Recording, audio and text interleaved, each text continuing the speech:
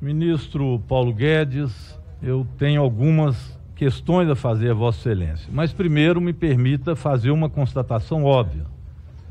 O senhor não trata os números com a seriedade que merecem. E por isso, às vezes, o senhor é tão ufanista numa economia que está falida e num país que passa fome.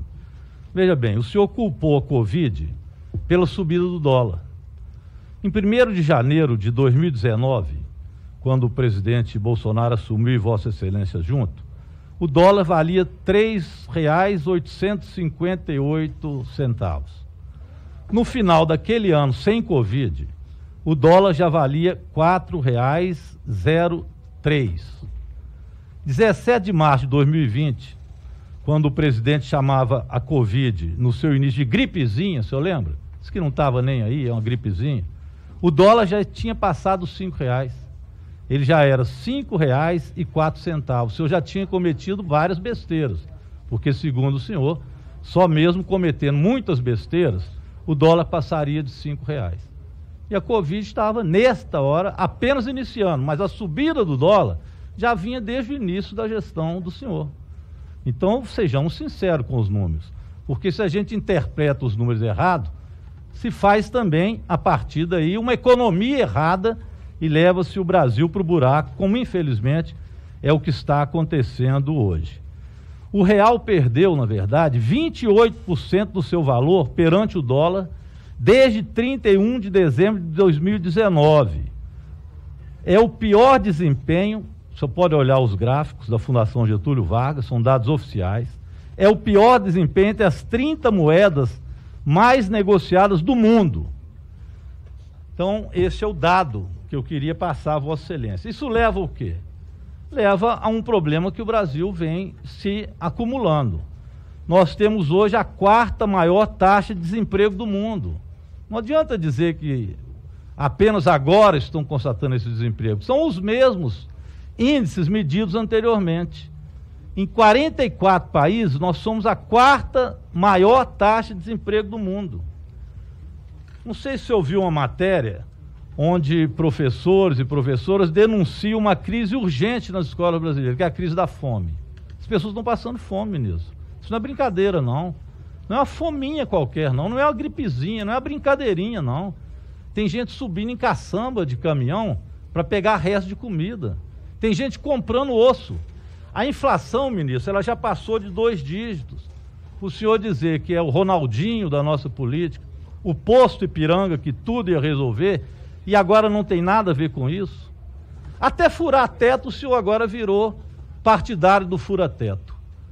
Para furar teto, para arrumar emenda, parlamentar para o ano da eleição vale, né? No orçamento paralelo. Aí pode furar teto. Mas, para aplicar recursos na saúde, na educação, o senhor quer PEC 32. Deforma administrativa. Entrega tudo para o mercado. E o mercado vai tomar conta. E as coisas vão melhorar. O mercado, tudo melhora. É o homem do mercado. Vende tudo. O senhor disse no exterior. Vende a Petrobras, vende a Eletrobras, vende Correio. Vai vendendo que o Brasil dá jeito. E não é bem assim. E agora o senhor foi pego com a boca na botija, sonegando imposto, ministro. E aí eu vou às perguntas. Por que, que eu digo que o senhor sonega imposto? Sabemos que empresas e contas em offshore são abertas por dois motivos principais. O senhor mesmo citou isso. O primeiro deles é fugir dos impostos devidos ao país de origem, ou seja, dos impostos que custeiam o funcionamento do serviço da máquina pública, inclusive pagando o seu salário. Se o senhor tivesse aplicado aqui no Brasil esse recurso que o aplicou, o senhor estaria pagando 15% de impostos, se fosse, por exemplo, no Banco do Brasil.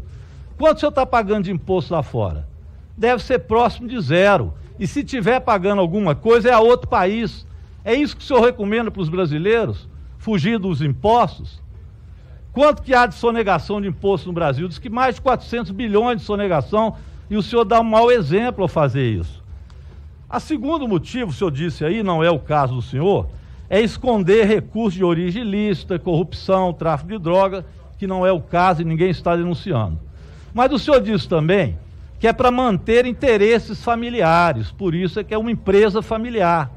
E se protege, né? Inclusive do futuro. Essa questão dos fundos de pensão tem que ser investigada sim, ministro. E se por um acaso houver algum problema em relação a isso, o senhor estaria protegido nesta offshore. Apenas nela, no exterior. Em outras, não.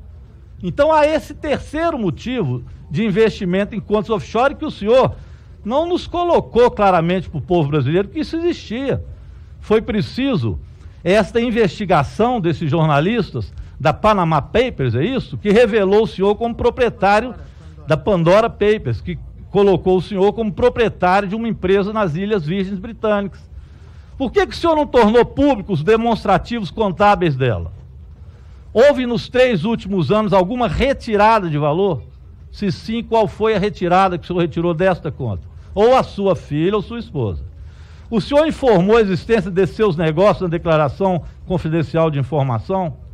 E eu pergunto ainda, por que, que o senhor não tornou pública as provas de que não está mais no comando da empresa? O senhor confirma que permanece sócio ou participe dessa empresa? E eu faço aqui um desafio senhor. Entregue a esta comissão as suas declarações de renda, referente aos anos de 2018, 2019 e 2020. E entregue também os documentos contábeis dos seus investimentos no exterior. Aí nós poderemos começar a ter alguma confiança nas palavras que o senhor aqui disse. Faça também a listagem das empresas no exterior das quais o senhor tem participação, qualquer empresa, e nos entregue. Quem exerce a função de gerência na administração no exterior é sua filha, também sua esposa, que são da composição societária. Estão tendo lucro, sim. O lucro é aproximadamente, desde que o senhor colocou, assumiu o Ministério da Economia até hoje, com a valorização do dólar, em torno de 16 milhões é o que o senhor teve de lucro apenas com o aumento do dólar de lá para cá, 16 milhões. Quando o senhor disse que fez tanto sacrifício quando assumiu o ministério, eu quase chorei aqui. E fiquei pensando, se o senhor faz tanto sacrifício, é uma pessoa tão boa, o senhor poderia pegar esses 19 milhões, 16 milhões de lucro e devolver em cesta básica para o nosso povo que passa fome, faz essa caridade, desativa essa conta para lá, traz ela para cá, começa a pagar imposto e pega esse lucro que o senhor teve, coloca ele para o povo brasileiro em cesta básica.